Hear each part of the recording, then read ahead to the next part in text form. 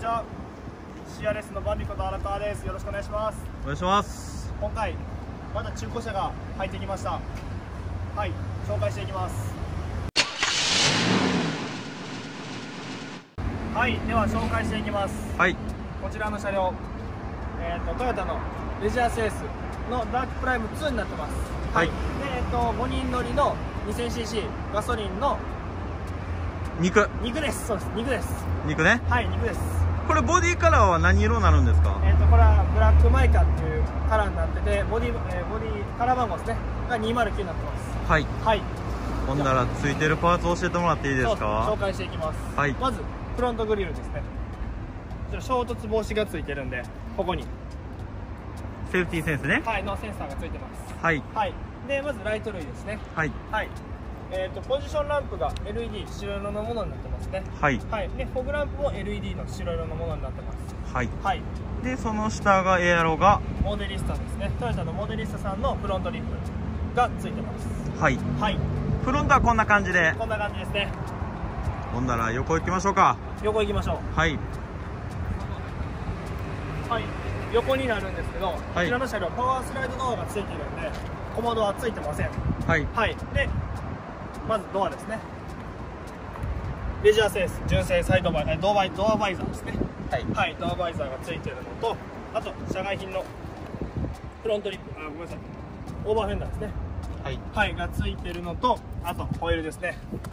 まあこれ結構珍しいカラーになるんですけど SX の EC17 ですね。17インチ。はい。の SBC というカラーになってます。あーハイパーグロスのちょっと濃いめにした感じのね。そうですね、まあ、ハイパーグロスよりちょっと濃い感じですね。はい。はい。にえっ、とタイヤが東洋の H20 がついてます。はい、はい。ローダウンってどれぐらい落としてるんですか？ローダウンは2インチ落としてます。2インチね。はい。構造変更は？OK です。OK OK です。はい。はい。横はまあちょっとそんな感じですね。はい。はい。で後ろ行きます。で綺麗な車両ですね。そうですね。まあ年式新しいのと。車も全然傷なく、まあ、走行も全然走ってないんで。はい。はい。では後ろね。ね。はい。まず上から。後ろリアウィングついてます。結構こう R のかかったタイプの。うん。はいリアウィングがついててハイマウントとかは純正です。はい。はい。でそのまま下行ってもらったらあとはもう全部純正なんで純正のテール純正バンパーになってますねはい。まあ。これがレジャーセースのバッジね。そうです。レジャーセース。はまあ販売店が違うだけなんで全然車としての違いはエンブレムぐらいだと思ってほしいです。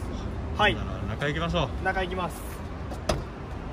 これスモークフィル貼ってますね。結構濃いやつね。そうですね。これ結構濃いの貼ってるのとあとまあダークプライム2なんでルーフが黒ですね。うん。なんでより中が暗く見えてまあ高級感もあるかなと思います。そうですね。はいで4分割のタイプのベッドキットがついてます。で高さ調整もできる。す。はい。でえっ、とこれもまあほぼほぼ使ってなかったのかなっていうぐらい綺麗なものになってるんでうん。新品ではないんですけど新品同様綺麗なものになってます。はい。はい。じゃあ横から。横ね。はい。行きましょう。まあ、パワースライドドアなんで自動で開きます。はい。はい。でえっとまあセカンドシートの方なんですけど純正のフロアマットですね。で純正シートダークプライムなんでハーフレザーシートになってますね。はい。はい。でまあこの車一番気になるところ内装でいうとヘッドレスモニターですね。カロッツェリア。はい。カロツェリアさんから出てるヘッドレスモニターが左右両方ともついてるんでまあフリップダウンモニターになると真ん中にしかなかったんですけど後ろうん。2個画面がついてるってことは結構見やすいんじゃないかなと思います。そうですね。でこれはい。ルームランプも LED に交換してるんですね。ルームランプも LED に白色ですね。に交換されてます。はい。はい。なんだろう運転席へ。はい運転席行きます。運転席もまあここは一緒ですね。そうですね。でえっとまずハンドルですね。ステアリングスイッチが。スタイリングスイッチがついてます。でえっとそうですね。あとは A ピラーですね。アルパインさんから出てる。おおつ A ピラーツイーターがついてますね。でこれナビが？ナビが、えっと、パナソニックのナビはいナビになってますね。で、えっと、暴言ミラーメーカーオプションですね。これ ETC バックカメラはどうなんですか？もちろんついてます。ついてる状態で、であとえー助助手席エアバッグとあと 100V コンセントですねうん。はい。もう大体フルオプションですね。そしたら。でねちょっと後ろのセカンドシートに言うの忘れてたんですけどはい。サブウーハーがついてます。シートの下に。あほんまっすね。はい、まあ、これがあるだけで全然音響が違うかなと思うんで。うん。結構。いいっすね。オーディオよりも気の使った車になってるかなと思います。でこれフロアマットがねその水洗いができるタイプの。そうですそうです。まあ汚れても水洗いができるんで海の後とかが便利ですね、うん。はい。はいでは走行距離なんですけどはい。1万、えー、5313キロ、まあ、約1万5500キロやと思ってほしいです。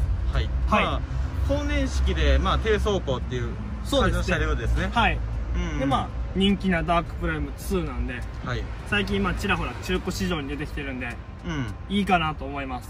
そうですね。はい。じゃあ最後に価格をね。そうですねまあこんだけ綺麗な車両ね。そうですね。まあ結構いい値段するのかなと思う方も多いと思うんですけどこはい。ちらの車両。